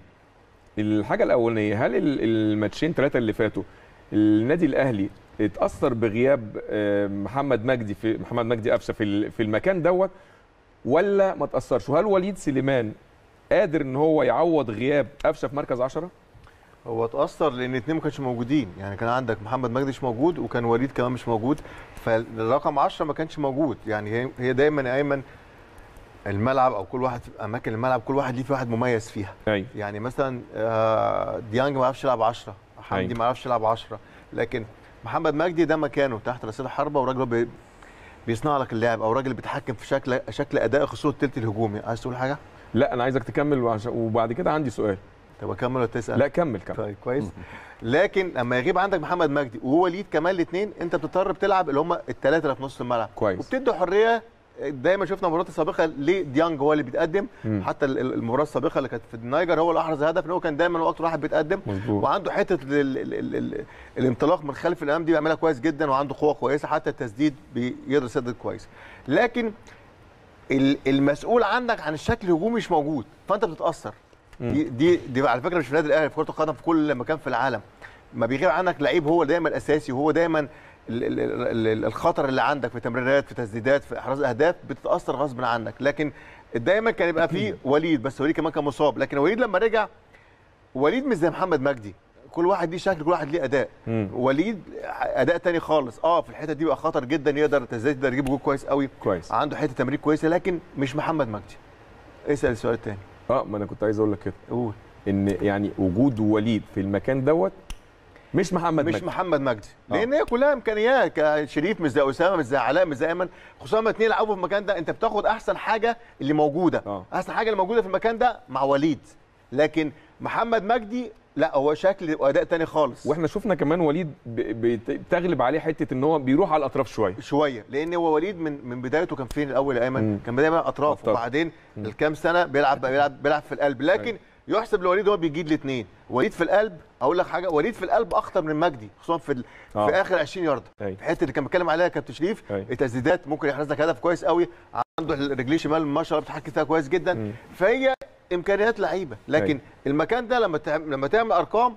نمرة واحد محمد مجدي هو. اللي هو اللي يشغل المكان ده حاليا دلوقتي. أيوه أيوه طيب لو والتاني آه. معلش أنا آسف. ناصر ماهر طبعا ناصر إن شاء الله كمان لما يرجع ربنا يشفيه. هيبقى عندك محمد مجدي وناصر. لما بتقفل قوي زي الفترة اللي فاتت يبقى وليد هو اللي موجود. وليد. آه. طب قبل ما نروح لكابتن أسامة هنروح لزميلنا إيه، فاروق صلاح من ملعب المباراة ونتعرف منه على آخر الأجواء في ماتش النهارده. يا فاروق إزاي؟ مرة تانية أهو. آه، كل كل التحية ليك يا كابتن أيمن وكل التحية لضيوفك الكرام كباتننا الكبار كابتن شريف عبد المنعم كابتن علاء ميهوب الكابتن أسامة عرابي والكابتن عادل عبد الرحمن وكل التحية لكل مشاهدينا ومشاهدي ومتابعي شاشة قناة النادي الأهلي في كل مكان. خليني أقول لك يا كابتن أيمن في يعني في هذه الأثناء بدأ فريق النادي الأهلي وفريق آه، سونديب في إجراء العمليات الاحمائيه كان وصول فريق النادي الأهلي في تمام الساعة الخامسة والنصف. كان وصول فريق سونديب بع- يعني بعد النادي الأهلي ب 10 دقائق طبعا فريق سونوديب عشان أقربك برضو من الصورة لفريق سونوديب والاستراتيجية اللي بيلعب بيها النهارده محمد بشار. يعني اللي هو اللي نقدر نقول الفريق الغامض شوية نسبيا. طبعا هو كان وصوله للقاهرة فجر يوم الجمعة الماضي. أدى تدري- تدريبين على ملعب النادي الأهلي بمدينة نصر يوم السبت ويوم الأحد. ثم بالأمس كان المران الرئيسي ليه على هذا الملعب في تمام الساعة السابعة. الفريق بالأمس زاروا السفير والقنصل في مقر إقامة الفريق. طبعا كان ليا لقاء مع محمد بشار ومحمد شيجا رئيس النادي قال إحنا جايين النهارده يعني أكيد ما فيش شيء نبكي عليه بعد المباراة الأولى وفوز النادي الاهلي. الأجواء هنا في مصر أحسن وأفضل بكتير. أرض الملعب إن شاء الله هتساعدنا إن إحنا نلعب مباراة يعني لسه الطموح عندنا لسه الأمال عندنا موجودة. آه، بالنسبة لفريق النادي الاهلي خليني أقول لك برضو إن في تشديد تام من قبل الجهاز الطبي بقيادة الدكتور أحمد أبو عبلة. على الإجراءات الاحترازية للاعبين النادي الأهلي. يعني عقد محاضرة يعني قبل ما اللعبة تنزل أيضا لل- للتسخين يتكلم مع اللاعبين وبالأمس كان عقد محاضرة طبية مع اللاعبين يتكلم على الإجراءات الاحترازية وإزاي التعامل في الخارج يعني خارج الملعب مع ال- الآخرين ومع التقاط الصور. طبعا النقطة اللي حضرتك بتتكلم فيها واللي بيتكلم فيها كباتننا اللي هي مسألة عودة وليد سليمان في مركز 10 النهارده استقرار مستر بيتسو موسيماني على التشكيل بعلي لطفي وياسر إبراهيم وبدر بنون وعلي معلول و آه، احمد رمضان بيكهام. الثلاثي الهجومي أيوة طبعا ومحمد شريف وطاهر وطبعا الاثنين اللي في الدايرة حمدي فتحي وديانج. عايز أقول لك إن فريق آه، سونيديب آه، طريقة طبعا اللي دايما بيلعب بيها محمد بشار هي طريقه 3 5 2 والنهارده شايفه بيدفع بمحمد كيمبا وعبد الناصر نعمان واللاعب ماماني آه، ماماني مصطفى. ثلاث وجوه يعني بيدفع بيهم في هذا اللقاء. ما لعبوش المباراة ال- الماضية. آه، طاقم التحكيم أثنى على أرض الملعب وكان بيتفقد أرض الملعب. طاقم التحكيم الخاص بهذا اللقاء اللي طبعا بيديره يسري أبو علي صاحب ال 27 عام. إن شاء الله كل الأمور مهيئة إن شاء الله إن إحنا نقدم مباراة كبيرة. إن شاء الله الفوز يكون حليف فريق النادي الأهلي. أنا موجود معاك يا كابتن أيمن لو في أي استفسار أو أي تساؤل. شكرا جزيلا زميلي العزيز فاروق صلاح كل التمنيات طيبه للنادي الأهلي بالفوز إن شاء الله. إيه، كابتن اسامه رأيك في تشكيل النادي الأهلي؟ وطبعا إن- نقاط الضعف اللي عن فارس سونوديب في المباراة الأولى يمكن وضعت لمستر موسيماني يعني هو ما كانش موجود هناك ولكن كان متابع المباراة. إزاي يقدر يستغلها؟ خصوصا ناحية الأطراف زي ما أنت اتفضلت وقلت إن هي يعني عندهم كانت واضحة جدا. لا مفيش شك إحنا قلنا إنه المكسب هناك 1-0 خارج ملعبنا. يبقى توقع مستر موسيماني آه، للفرقة كان مظبوط لما ريح بعض اللعيبة. النهارده برضو آه، بعض اللعيبة ريحت. آه، في إدى فرصة لواحد زي أحمد ياسر ريان ربنا يوفقه يعني آه، يمكن أول مباراة من ساعة ما رجع يبتديها. علي لطفي يمكن ابتدى مباراة أو مباراتين طول السنة اللي فاتت. آه، يعني آه، وليد تاني مباراة يلعبها طبعا وليد خبرة كبيرة لكن أنا بتكلم من البداية بعد رجعته. يعني ادى بعض الفرص لبعض الناس انه انه بالنسبة لعلي لطفي واحمد ياسر عشان يحكم عليهم ويجهزهم فيما بعد. طبعا وليد لسه راجع من كورونا وخبراته كبيرة انه يستفاد منه وقفشة آه، يمكن لسه عودته من كورونا فمقعده احتياطي هيستفيد منه ممكن في الشوط الثاني يعني يبقى بينه بينه وبين وليد ال 90 دقيقة يعني. آه، ال- النادي الأهلي آه، في مباراتين لعب 4 3 3 قلنا طبعا ميل آه، خبرة كبيرة يعني. آه، لعب 4 3 3 في مباراة سونيديب اللي هناك ومباراة الاتحاد السكندري. لعب بأكرم توفيق وحمدي فتحي وديانج في وسط الملعب. ده إحنا قلنا الأسلوب ده هو ممكن يكون لجأ ليه آه، إما لغيابات بعض اللعيبة زي قفشة وناصر ماهر ووليد سليمان كان عنده كورونا قبل ماتش سونيديب أو أحيانا لما بتلعب خارج ملعبك بيحب يفكر هذا التفكير بعض المدربين ان يلعب ثلاثة ارتكاز في وسط الملعب. بس جه لعب برده ماتش اتحاد كده ومشي شكل بشكل كويس. جينا في ماتش دجلة رجع للأسلوب الثاني الطبيعي اللي هو 4 2 3 1 لاعب وليد سليمان تحت راس الحربة اللي هو محمد شريف ولاعب حسين الشحات وصلاح محسن على الأجنحة. فواضح إن ده الأساس بتاعه اللي هو 4 2 3 1 زي النهارده. ملاعب وليد سليمان تحت آه، أحمد ياسر ريان وشمال ويمين طاهر وشريف. ال- ال- الفرقة سوني ديب زي ما قلنا بيلعبوا ثلاثة ارتكاز آه، في قلب الدفاع وبيلعبوا اثنين على الأطراف يعني خمسة خمسة ثلاثة اثنين هناك كان هو بالنسبة لل- للمدرب غاني كان كان مطلع الباكين قوي على أساس إن هو فاكر إنه بيلعب في ملعبه انه يقدر يجاري النادي الأهلي. لكن طبعا خبرات لعيبة النادي الأهلي رغم سوء الملعب بان جدا التفوق إن النادي الأهلي مسيطر على معظم اللقاء وجاب جون جميل لديانج. وفي فرص أخرى كانت ممكن تيجي لو الملعب أحسن من كده. آه. فالنهاردة فرصة كبيرة لمحمد شريف النهارده بيلعب آه، في الطرف لأنه سريع ويقدر يدخل للعمق مع أحمد ياسر ريان. فرصة كبيرة جدا لطاهر محمد لطاهر محمد طاهر إنه يخش من الطرف ويخش على العمق. انه انه المناطق دي هتبقى فاضية. وليد سليمان بحكم خبرته بيقدر يلعب على الأطراف بيقدر يلعب تحت رأس الحربة. أعتقد إن وليد سليمان كمان هيبقى عنده فرصة كبيرة جدا للتسجيل النهارده. شاء الله. هو وشريف وطاهر وأحمد ياسر ريان.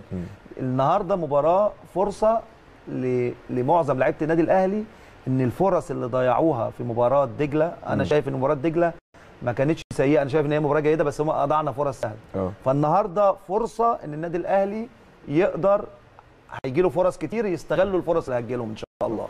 كابتن عادل آه، رؤيتك لتشكيل النادي الأهلي كنت عايز أكلمك على حاجة يمكن وضحت شوية في الماتش اللي فات آه، يمكن الماتش اللي قبله ما كانتش موجودة. حتة البطء في التحضير في التحضير. آه،. وعدم التحرك بصورة إيجابية شوية في الخط الأمامي. أفقدتك ميزة الاستحواذ والسيطرة. أكيد طبعا. لكن آه، خلي بالك الخصم غير الخصم. يمكن فرقة آه، وادي دجلة كانت بتلعب ال- الزون علشان تنقل كمان فكان بتلعب معاك الزون فكانت بتجبرك على إنك تبقى بطيء. رغم إن أنت ممكن لو كنت سرعت الريتم ممكن كنت تنجح فيه. بالظبط كده. ولكن أنت ف... ف... آه، مش أقدر أقول لك إنه كان في التحضير علشان التحضير أصلا كان الظاهرين ال- ال- الباك اليمين علي معلول وكان بيكام كان آه، كان الاثنين كان في اختلاف ما بينهم. آه، علي معلول كان بيهاجم بشراسة وكان قدام قوي بيكام كان متأخر فما كانش فيه اللي هو اتساع للملعب. علشان كده كنت بطيء انت في التحضير. ولكن النهارده تحضيرك هيبقى أسرع. والحاجة المهمة إنك أنت عندك سرعات في الحتة الأمامية كويسة. مم. زي ما الكابتن اسامه كان اتكلم على ال- الرباعي بتاع ال ال ال الهجوم عندك.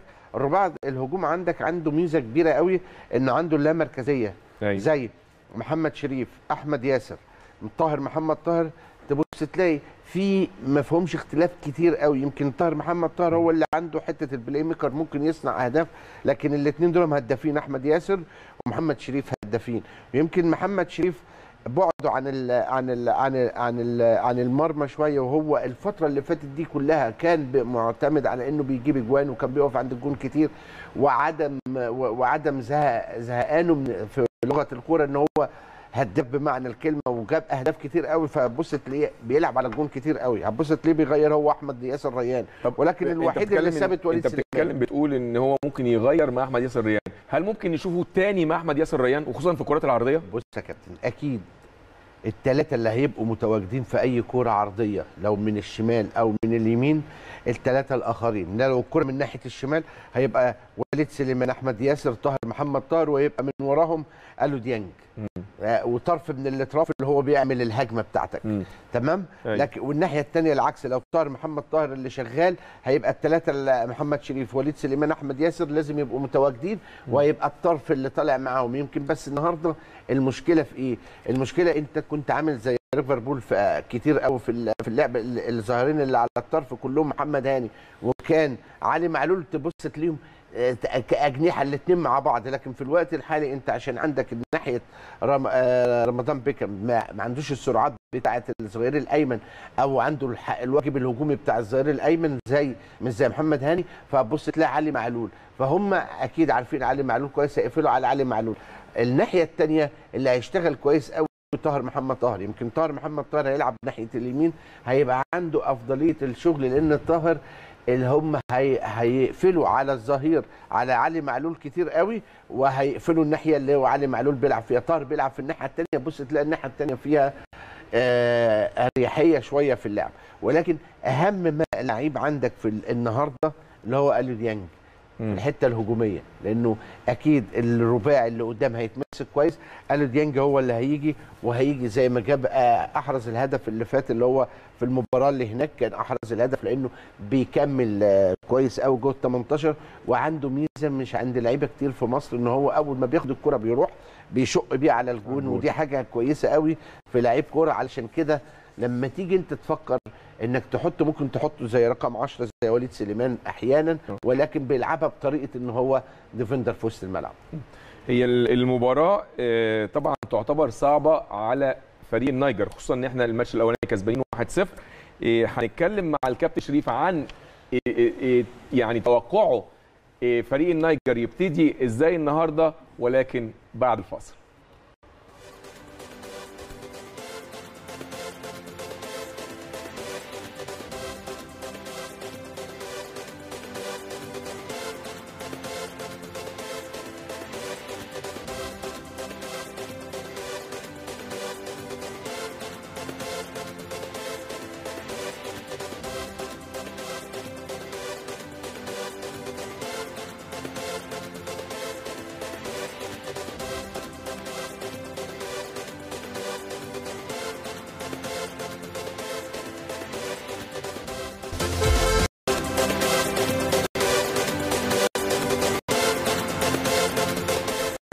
بنرحب بيكم مرة ثانية أعزائي المشاهدين. وكابتن شريف كنا بنسألك قبل الفاصل على إن المباراة تعتبر صعبة لفريق سندوق آه طبعا. يعني ممكن يتعامل معاها إزاي؟ يعني وخصوصا إن إحنا معانا التشكيل أهو دلوقتي بس التشكيل على الورق غريب شوية. يعني هم عاملين 3 4 1 2 ما أظنش ان هم هيلعبوا بالطريقة دي. يمكن تشكيل آه، هيبقى كارلوس دوجورام لحراس المرمى ثلاثة اللي قدامه عبد الجليل ماماني محمد وحميدو ماماني مصطفى. أربعة قدامهم. ريم مختار أسادي خاتيو محمد كامبا سليماني مماتي قدامهم واحد عبد الناصر نعمان وقدامه اثنين مرتضى يحيى وموسى أحمد عيسى. بص يا كابتن أيمن هو مش في يوم وليلة هي- هيجيب طريقة جديدة. يلعب بيها مع النادي الأهلي. أيوه. متأخر بهدف على أرضه. أيوه. وهو أصلا بيلعب آه، زي ما الكابتن قال 3 5 2 وزي ما إحنا شفنا على الشاشه في القناة هنا. فده ال- الأقرب أو الأمثل بالنسبة له هو. وإحنا زي ما قلنا هو شايف نفسه إن هو يملك من الأطراف سرعات ويقدر يلعب عرضيات ووصل على أرضه هيتمسك بالكام فرصة اللي هو مسك بيها على أرضه ويحاول آه، يكون ليه أداء في ملعب القاهرة هنا بهذا الشكل. إنما غير كده أنا إحنا مش هنشوف غير ضغط من النادي الأهلي تركيز من النادي الأهلي عدم استحواذهم. هنا أنا مش هشوف الفرقة دي إلا لو في miss pass كتير قوي من النادي الأهلي لو هم عندهم سرعات وعندهم آه، counter attack فده هيجبر النادي الأهلي حتى لو حصل على تركيز أكتر وعلى استحواذ أكتر وعلى إنهاء المهمة بدري بدري. فهو كل اللي هيعمله إنه مش هيغير أي حاجة في الطريقة اللي لعب بيها مم. هو حاسس إن هو بي- بيلعب 3 5 2 إنه مستحوذ على نص الملعب آه عامل ضغط بين الخطوط بتاعته عامل آه، قفل آه، للثغرات اللي هي موجودة ممكن النادي الاهلي يلعب فيها الكرات الضيقة ويقدر يعمل فيها كرات طويلة فيبقى هو موجود في نفس الشكل. وأعتقد إن هي دي إمكانياته. أيوة. وزي ما الناس قالت وعادل قال وأسامة قال وعلاء قال هم جايين حابين إن هم موجودين في القاهرة أصلا حابين إن هم يلعبوا مع بطل أفريقيا. مبهورين بالاسم أصلا مبهورين باللعيبة كلها وأثبتت التجربة الأولى إن النادي الأهلي هو المتفوق. وما تنساش النادي الأهلي هناك كان يقدر يكسب أربعة وخمسة هناك. يعني مش الهدف ده لوحده مش ما كانش علامة المباراة يعني. لا أيوة. المباراة هناك كانت تقدر تخلص أكتر من كده بكتير قوي زي ما إحنا اتفرجنا عليها. فهو كفريق مش مطلوب منه الحقيقة غير إنه يثبت لنا إن الأرض كانت معوقة ليه بنسبه 20 30% إنما غير كده أنا ما شفتش منه أي حاجة آه، تخليني آه، النهارده يعني تقلق. أقلق من طريقة اللعب إزاي أو آه، هيكون ليه وجود إزاي غير إن هم لعيبة سريعة. أيوه. إزاي بقى هيتحكموا في الكورة وإزاي هيترجموا لنفسهم هجمات يهددوا بيها النادي الأهلي؟ آه. اللي هيسمح بكده النادي الأهلي أو اللي مش هيسمح بكده. هم لعيبه النادي الأهلي برضه. كابتن علاء آه، بمناسبة تشكيلهم وهو برضو غريب شوية اللي هو 3 4 1 2 استغربوا إن هو 3 4 و1 2 أيوه بالظبط هي آه. ممكن وفي حاجة آه. كمان عايز أتكلم. فيها الماتش اللي فات هم طبعا كانوا بيلعبوا بعشوائية ولكن كانت من ضمن نقاط القوة بتاعتهم إنهم بيلعبوا عرضيات كتير قوي كتير صحيح وكانت خطر علينا كمان وخصوصا النهارده لو هم لعبوا بالأسلوب دوت في ظل تقدم علي معلول وأحمد رمضان لو شفناه في الجانب الهجومي النهارده إن شاء الله هي بعد العرضيات يمكن أهي دلوقتي أدي واحدة خطر أيوه لاحظت إن كلها كلها أيمن معظمها من ناحية اليمين. من مم. عند ال... من عند ال... ال- من الباك الشمال هيبقى ناحية علي النهارده. أيوه. عشان كده ولازم حتة ال... يعني ال... ودي واحدة تانية برضو خطر. دي كانت offside إيه، عشان الراجل راجع. آه. هم بي يعني بص اللقطة دي هم بيهاجموا باعداد كتير جدا. واسامه قال كلمه دايما في مساحات على الأطراف فاضية. لازم إزاي تستغلها؟ لكن هي بس حتة إنك إزاي تستغل المساحات دي. هم حتة العشوائية موجودة في لعبهم. مم. حاجة مقلقة وحاجة كويسة. أيوه.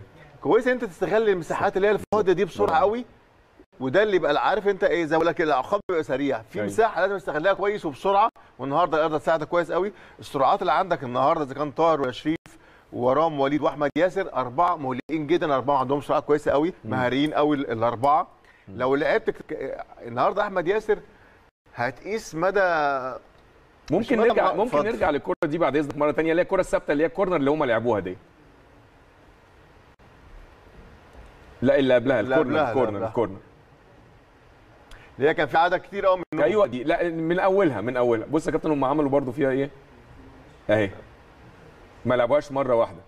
واضح إن هم مدربين على حاجة زي كده. برضه يعني تركيز أو تمركز لعيبة النادي الأهلي في اللقطة دي وحش. مم. بس كانت. النتيجة 1-0 والامور كانت لحد كبير عارف انت بقيت هديت شوية في لعبك. لكن أيوة. النهارده آه ما ينفعش تسيب مساحات.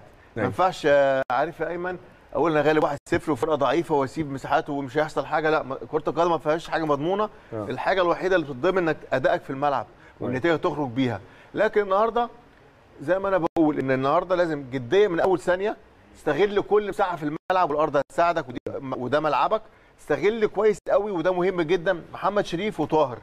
لأن دايما المساحات موجودة بس عايز ال... عايز سرعة وفي مهارة دي موجودة والمساحة موجودة فأنت مش عايز أكتر من كده ايمن مم. ممكن تستغل النهارده الاجناب كويس قوي قوي قوي حتى بطلوع عالي أو طلوع أحمد رمضان لكن موجود. مم. محمد شريف وطاهر محمد طاهر هم عندهم حتة تغطية في الجناب وحشة جدا. هات أي هجمة للنادي الأهلي كرة أي كرة عشوائية هتلاقي دايما ال- ال- الأطراف أو الاجناب مش متغطية كويس قوي لكن هم هم فيهم ميزة هم دفاعيا وحشين قوي صح. ودي إحنا متفقين عليها وعارفين من زمان في افريقيا. لكن هجوميا مقلقين. آه. حتى ايمن لو اللعب عشوائي يعني بص الكره زي دي تلعب بسرعة قوي. يعني هم ما بيضيعش وقت. واحدة عرضية وبص الراجل الناحية الثانية فاضي. فلازم ال- ال- الكور اللي هي الضربات الثابتة. ال out لازم تبقى عينك بسرعة. لازم تعرف هتلعب إمتى وبسرعة قوي. يعني كوره زي كده في فكرة عمل. الكوره بيعملها على لمسة واحدة. بص العدد هنا قد إيه؟ آه. يعني لو ثبت الصورة أيمن سيبك من الكوره offside. لكن دي ناس ومغلوب 1-0 على ارضها لكن بتهاجم. آه عشوائي. أنا أيوة. معاك. لكن عشان استغل العشوائية بص منظر كام واحد. آه بص عد اقف هنا بالصورة. بص كام واحد من الفريق. اللي بالك الكرة. لو لو تتقطع في الحالة ديت هتبقى خطر عليهم ما أنا جامد بقول جدا. بص ما أنا بقول لك يا إيمن بص لو إحنا واحد. ابتدينا صح. لو اتفرجت على ماتش تشيلسي امبارح أو أول ال ال الهدف اللي جابه بروين دي بروين. هجمة مرتدة واحد واحد بس أيوة. كان كانتي. أيوة. ال ال ال ال المساحات اللي بتبقى فاضية هو تستغلها إزاي؟ لازم يبقى العقاب. قوي جدا عقابك إيه؟ هدف. آه. لكن إزاي تشوف المساحة؟ ده المهم جدا جدا جدا. وزي ما بقول لك لازم تبقى حريص جدا في الهجمات بتاعتهم. اللي هم عندهم الحته الهجومية مقلقة. أيوة. أنا بقولها لك تاني حتى لو عشوائية أنا معاك. أيوة. لكن لازم تبقى حريص جدا في الهجمات اللي هتتعمل عليك. ولازم تبقى ذكي جدا في إزاي تستغل المساحات. دايما في مساحات كتير قوي الفريق ده كتير جدا. في قلب الملعب وعلى الأطراف. مين يستغل المساحات دي؟ المساحات دي محمد شريف مم. طاهر لازم واخد عرض الملعب كله أيمن. كويس. قوي. ال- ال- المسؤول عن الموضوع ده إزاي الراجل وليد والرزاجي الراجل يستغل الفرصة بسرعة؟ يعني دايما استلام الكورة الراجل اللي معاه الكورة ده هو اللي هيحدد.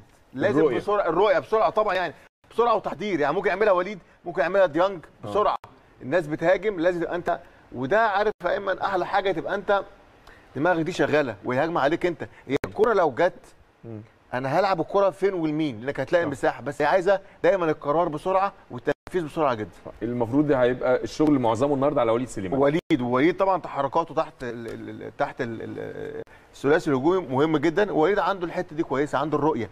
النهارده هتلاقي مساحات كتير جدا. بس ال المساحة عايزة واحد عنده رؤية كويسة قوي آه. والتمرير بسرعة. طب وجود ديانج وحمدي فتحي مع بعض مين اللي يكمل منهم؟ ديانج. ديانج اللي يكمل. ديانج ديانج. ديانج عنده عنده انطلاق. كويس عنده تسديد كويس قوي. حمدي تستغله في الكور الثابتة إن هو بيعرف يستعمل دماغه كويس. جدا. لكن اللي أنا بقوله النهارده هيبان. هتلاقي دايما حمدي فتحي هو اللي ثابت وهتلاقي طبعا ديانج ورا وليد وعنده حتة تقدم دي قدام. ولازم تعمل ضغط هجو... مش ضغط هجومي على الفريق ده لأن غلطات هتلاقيها كتير قوي قوي. بس عايزة ضغط عايزة إزاي بي... يعني ده ديانج بص المباراه هناك أيمن هو اللي كان مقدم م- متقدم وشايط وكده. هو هتلاقي أخطاء كتير النهارده. أنا عايز الكورة ديت بعد إذنك. هو- ممكن تجيبها من أولها؟ أيوه. بص يا كابتن. بس إثبت هنا إثبت إثبت إثبت. أيوه كده. بص إحنا جالنا دي تعتبر كور كورة من الكور الثابته بس استغلالنا للكور الثابته يمكن عشان الملعب كان سيء شوية بس استغلناش بصوره جيدة. لا خالص طبعا. آه. النهارده أعتقد إن الملعب كويس من المناسب جدا مع الفرق الأفريقية اللي, اللي بتدافع بالشكل دوت إن أنت تستغل الكور الثابته في إحراز أهداف كتير جدا هتجيلك كور ثابته كتير هتجيلك آه، فرص للتسديد كتير قوي. بس زي ما كان كان اسامه قال بيتكلم إزاي تستغل الفرص. آه. تستغل الفرص بسرعة شوية. عايز تقول يا كابتن عادل. لا أنا بتكلم على إنه العكس لما يكون الملعب آه، مش كويس أنت لازم تعتمد على الكور الثابتة. بالظبط. ولازم تشتغل عليها كويس ولازم تشتغل كتير فيها علشان لو اشتغلت كتير فيها ممكن تحرز منها اهداف زي ما أنت نهيت المباراة أيوة. وكسبت بكرة ثابتة. أيوه تمام؟ وخصوصا إن هم في ال... في الناحية الدفاعية يعني بعافية شوية. في الحتة بتاعت الكورنر اللي الكابتن علاء اتكلم عليها وقال إن هم بيهاجموا اللي هم آه، آه، عدد كبير جدا. أيوة. كانت كانت لعيبة النادي الأهلي كلها كانت جوه 18 عشان كانت النتيجة 1-0 ما كانش في حاجة يبقوا عليها هم كانوا عاوزين يجيبوا جون. أيوة. ولكن أنت في بداية المباراة مش هتلاقي الشكل بتاعهم كده. طبعا. وكمان حاجة تانية مهمة أنت ممكن كنادي أهلي أنت تجبرهم على إنهم يرجعوا لورا. بمعنى إيه؟ لو أنت حطيت ثلاث لعيبة ودي أحيانا دي مدارس يعني والكورنر عليك. وحطيت ثلاث لعيبة قدام هيبقى في أربع لعيبة ماسكينهم. وفي لعيب بيرفع الكورنر وفي لعيب واقف على ال 18 هتبقى أنت في الحتة الدفاعية أحسن منهم. هو واضح إن الفرقة دي كمان يا عادل آه رد فعل لأدائك أنت. آه صح. مش هم اللي إحنا رد فعل لأدائهم هم. يعني هم رد فعل أنت بتعمل إيه في الملعب؟ ده وضع طبيعي يا كابتن شريف نتيجة الفوارق بيننا وبينهم. إيه، كابتن أسامة كان ليك تعليق على موضوع الثلاثه اللي ورا؟ أنت قلت الماتش اللي فات هو الراجل حب يجاري النادي الأهلي فطلع الباكين قدام. ولكن الماتش دوت بالأسلوب ده بال- بال- بالكلام اللي جاي لنا بالأسماء بالشكل ده أعتقد إنه مش ممكن يبدأ بالطريقة دي ده الطبيعي لو قلت لك المدربين ال ال ال ال هم الأوروبيين أو المدربين بتوع شمال إفريقيا ومنهم مصر مم. إحنا بنهتم قوي بالنواحي الدفاعية وبنهتم بالوعي الخططي في النواحي الدفاعية آه. بنركز في الحتة دي آه. لكن الأفارقة عامة سواء اللعيبة أو لما بيكون مدرب إفريقي عندهم النزعة الهجومية غالبه يعني بس بعشوائية. عندهم- ما هو بعشوائية. بس آه، عندهم تملي آه، أو نهم على الهجوم وبيقعوا في أخطاء في خط الخلف كتير جدا وفي وسط الملعب. آه. فالشكل اللي هو حاطه هو 3 4 1 2 ده طبيعي في في حالة الهجوم. اللي هو إيه؟ أنت لو تفتكر أيام فايسا أو أيام هولمان إحنا كنا بنلعب كده. خلي بالك انت بتتكلم على أنا ما أنا هقول لك إمكانيات لعيبة. أنا فاهم. لا أنا بقول لك على ترصيصة الشكل. أيوه. ما هو اصل انت ديت 3 4 1 2 دي قريبة ل 3 4 3 بس هو بدل ما بيبقوا اتنين على الاطراف و. و و و و وواحد راس حربة هو بيبقى راسين حربة وواحد تحتيهم. واثنين ارتكاز وخمسة ورا. أيوه. بس هو بقى المفروض اللي هو إبراهيم مختار ده وسليماني مماني اللي هو ستة دولت يبقوا اكنهم باكين يبقوا خمسة. مظبوط. والثلاثه اللي في النص اثنين ارتكاز وواحد تحت اثنين آه. ده إحنا حتى يعني أيام هولمان 5 2 1 2 خمسة اتنين آه أو بي- بيقولوا عليها ممكن إيه خمسة 3 2 آه، خمسة آه، تلاتة اتنين. بس بس تلاتة اتنين دي ليها شكلين. ممكن ساعات بتلعب واحد ارتكاز بس واحد يمين واحد شمال وراسين حربة وساعات بتلعب باتنين ارتكاز وواحد قدامهم واتنين راسين حربة آه. يعني تقسيمة الخمسة آه. مختلفة. فهو أيوة. بيلعب بواحد تحت اتنين دي ممكن بتحصل. ولكن دي برضو عايزة مستويات في الوعي الخططي عالية جدا جدا جدا. مم. مشكلة الفرق ديت إنه الوعي الخططي عندهم ما بيبقاش عالي. هو الشكل موجود لكن ممكن تلاقي في فترة خمسة بيجروا ورا واحد والجنب التاني فاضي خالص. آه. ولذلك انت آه، يمكن علاء اتكلم فيها استغلال المساحات لواحد زي طاهر مم. زي واحد زي محمد شريف علي معلول. علي معلول هيبقى ليه دور غير طبيعي النهارده. هو طبعا. بطبيعة لعبه وكمان عشان استغلال المساحات. لأنك انت ممكن تلاقيهم ناحية اليمين مثلا متكتلين قوي والباك اليمين ده مش موجود خالص. فسرعة تغيير اللعب لواحد زي علي معلول ممكن تلاقيه رايح هو والجون. رايح عشان يعملها لواحد لتحت ويحطها. بيكا من الناحية الثانية أقل في الحتة دي شوية آه، أنا برضو بتفق مع عادل و بص الكرة الثابتة دي يا كابتن آه. أسامة مثلا. لا ما هو بص. التنظيم ال- ودي كرة ثابتة على فكرة. آه. بص التنظيم الدفاعي بتاعها. آه ما طبعا أنا قلت لك عامة التنظيم الدفاعي للفئه بص كام واحد؟ ثانية كان بص بص هناك شفت خمسة ستة رايحين هناك. أو ستة وثلاثة فاضيين. دي هتلاقيها كتير قوي النهارده. أيوه. في الفرق المستويات دي هتلاقي كده. فلازم نستغل طبعا الضربات الثابتة لكن أنا بتكلم حتى في اللعب اللي هو منظم العادي. مم. واحد زي علي معلول هتلاقيه عنده مساحات رهيبة. آه واحد زي بيكم بس يمكن إحنا متفقين إن بيكم آه، المركز في الظهير الأيمن ماشي. هو طبعا لسه مباراة أو اتنين ولعب مع بعض الماتشات مع مع فرقه وادي دجلة ولكن ما عندوش ال- السرعات الكبيرة إنه يطلع على طول في الطرف وي- وي- ويعمل كرات عرضية سواء لتحت أو للقائم الأول أو القائم الثاني بيعملها على استحقاق كأنه. مساك ناحية اليمين زي أيوة. ما إحنا بنلعب بمساك ناحية اليمين أيوه فبيبقى الهجمات عنده مش زي بالسرعة اللي بيعملها علي معلول فأنا أعتقد إن علي معلول النهارده هيبقى عنده فرصة كبيرة جدا مع محمد شريف وطاهر اللي هم في الأطراف يعني وتحتيهم وليد سليمان ومعاهم وليد عادل سليمان. من رؤيتك للتشكيل النادي الأهلي وتشكيل وطريقة لعب سنديب إزاي ممكن نتوقع سيناريو الشوط الأول. طب خليني أقول لك بس سنديب اولا ما عندهاش شكل لل- للعب بتاعها. يعني. أنت لما بتيجي تتكلم على فرقة مثلا اولا المدرب محمد بشار ده آه، من غانا آه، ده مدرب آه، المفترض إن هو يعني من المدربين المتوسطين يعني آه. لكن أنا عايز أقول لك آه، آه، آه، الفرقة أصلا ما عندهاش شكل في في في لعبها أو زي ما أنت تقول إيه إن هم يلعبوا بطريقة أو يلعبوا بطريقة تانية. هم طريقتهم الوحيدة حاجة واحدة بس إن هو ينزل تحت الكورة. اولا لما يجي هيلعبك هنا ينزل تحت الكورة دائما علشان الحتة الدفاعية بتاعته ويلعبك على الهجمه المرتدة وبيفتكر كده. يعني هو هيلعب نص. ملعبه. طبعا. يعني هو اولا اولا هو عايز يعيش المباراة ما يجيش فيه هدف الشوط الأولاني. أو بدري. على أو بدري. ليه؟ علشان هو لو لو وصل للشوط الثاني ممكن يعوض. هو ده تفكيره. يمكن أي حد عاقل هيعمل كده لما يجي يلعب بطل أفريقيا وفي بلده وهو متأخر جون إن هو ما يفتحش في البداية. لو فتح من البداية هتبقى النتيجه كبيرة. علشان كده هو إيه؟ يعيش المباراة. الشوط الأولاني يعديه يقول لك أعديه درو. آه الحاجة الثانية أنزل ألعب الهجمة على الهجمة المرتدة. ممكن النادي الأهلي ساعتها آه أجيب في جون وبعدين أحتفظ وبعدين أوصل للبنالتي أو أوصل. ده تفكيره. لكن أنت ممكن تغير له كل ده. الحاجة المهمة اللي النهارده هو غير له كل ده بإيه؟ بجول مبكر؟ لا هو مش بجون مبكر بس. حاجة تانية إنك أنت لازم تلعبه بعكس ال system بتاعه. هو ال system بتاعه إيه؟ إنه يلعب تحت الكورة. الحاجة التانية أنت تصبر. اصبر عليه. العب. العب كوره واصبر عليه في الآخر هتلاقي نفسك رايح. لكن ما تلعبش طويل هو محتاج دي. هو أيوة. محتاج إن هو يتق- يتقوقع وراه وبعدين يلعب الهجمة المرتدة السرعة بتاعت الهجمة المرتدة يشتغل بيها.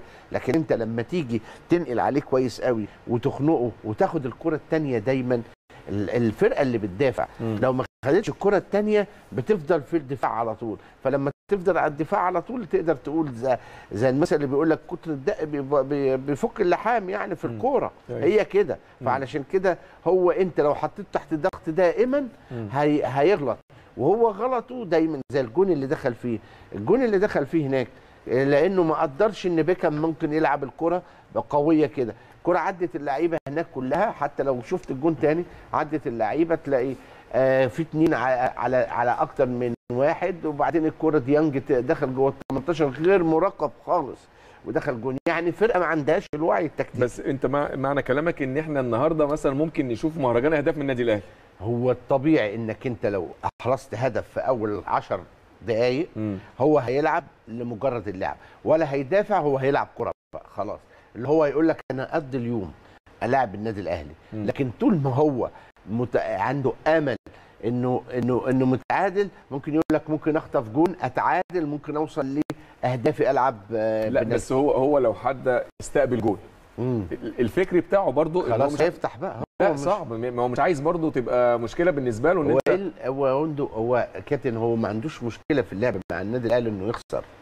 في لا يخسر بمهرجان اهداف ولا ولا يهمه الأمر ده. هو أحيانا هو كمان عنده تصريحات اتكلم فيها في أكتر من مكان. بيقول لك إن أنا نفسي أقول لأولادي أو أقول للاولاد إن إحنا إن عملنا نتيجة جيدة مع النادي الأهلي. حلو؟ كويس. ده في البداية. مم. وفي الآخر قال لك إيه؟ أنا أتمنى إن إن ظروفي إن أنا أكسب المباراة وأكسب النادي الأهلي. هنا. زي العادي عادة المدربين دايما. عادة المدربين دايما آه. هو ملوش دعوة إنه يخسر خمسة ستة. هو قبل الماتش يقول لك أنا جيت عشان أعوض. بس كده مش هيلاقي حاجة يقولها للاولاد ما هو مش هيقول حاجة. ما هو ما أنا كتير قوي. لا هو كتير قوي المدربين. فاكر انت لما كانوا بيجي يلعبونا نبقى أنتوا كاسبين مرة آه، ساوزلاند تهيألي آه خمسة خمسة المدرب جه قال أنا أنا. جاي أكسب أيوة. سبعة أيوة. فهو آه، ما حدش هيعرف عنه حاجة تاني آه. هو آه، ده هيقول لك إيه، ألعب كورة وخلاص أيوه وألعب آه، مجرد إن أنا أشترك مع النادي الأهلي وأتشاف مع النادي الأهلي أيوة. لكن أنت لو فتحت المباراة بهدف مم. أفتكر إن النتيجة النهارده تبقى كبيرة جدا لو كان في هدف مبكر. والهدف المبكر هيخليه يحصل إيه؟ هيخليه أهدافه تنتهي. فتشتغل أنت بقى على أهدافك أنت. أهدافك أنت إيه هي؟ إنك تعد زي ما اتكلمت قبل كده. إنك تعد لعيب تاني. إنك أنت تدي ثقة للاعب آخر. إنك أنت تدي ثقة لطريقة لعب. فاللي عاجبني النهارده في موسيماني حاجة مهمة قوي. إن هو مس- مستهون بالمباراة. عارف اللي هو إيه؟ كل اللعيبة الأساسية عنده هيلعب مباريات كتير بالشكل ده وهيلعب مباريات كتير بال... بال... بالأسماء دي كلها يعني النهارده مش مقعد بدر بنون. لكن ملاعب آه، ياسر آه، إبراهيم لو انت حسيت ان ايمن أشرف هو الأساسي وبدر بنون اللي معاه وبيبقى الثالث بتاعهم ياسر إبراهيم على. طول مم. آه، الناحية الثانية علي معلول بيلعب على طول عندك هنا بيكم بيصنع باك رايت تاني علشان محمد هاني لو حصل حاجة عندك حمدي فتحي عندك اليو ديانج الاثنين أساسيين. لما بيدخل عمرو السولية أحيانا بيلعب الثلاثه واحيانا ممكن يلعب اثنين منهم. عندك الأطراف طاهر محمد طاهر عندك محمد شريف عندك وليد سليمان عندك أحمد ياسر ريان كلهم أساسيين. عشان كده هو متحفز وعاوز يكسب. كابتن شريف هنشوف جوال الشوط الأول وخصوصا من النادي الأهلي مبكره بإذن الله ده المطلوب يعني بإذن الله لازم النادي الأهلي يكون عنده وجود في ال half time الأولاني بأهداف يعني. كابتن علاء هنشوف اهداف مبكرة من النادي الأهلي. إن شاء الله إن شاء الله يعني عشان زي ما بقول لك أنا تسهل على نفسك المباراه لازم هدف بدري إن شاء الله. كابتن أسامة. إن شاء الله أتوقع أهداف بإذن الله. أهداف. و... آه وأتصور كمان زي ما عادل وعلاء قالوا لو جبنا جون بدري أعتقد إن شاء الله النادي الأهلي ممكن يعمل score النهارده. بإذن الله رب العالمين. كابتن عادل. أتمنى أحمد ياسر ريان يسجل النهارده عشان يبقى عندنا وطاهر محمد طاهر. علشان يبقى عندنا هدافين ثلاثة محمد شريف وأحمد ياسر وطاهر محمد طاهر. يعني هنشوف اهداف مبكره إن شاء الله. إن شاء الله. بإذن من الله. دول الاثنين كمان. بإذن الله رب العالمين. كل التوفيق آه، للنادي الأهلي إن شاء الله بتقديم مباراة جيدة بإذن الله ونتيجة كبيرة بإذن الله آه، تسعدنا جميعا. هنروح لفاصل ونرجع لكم مرة تانية بعد نهاية أحداث الشوط الأول. أرجوكم انتظروا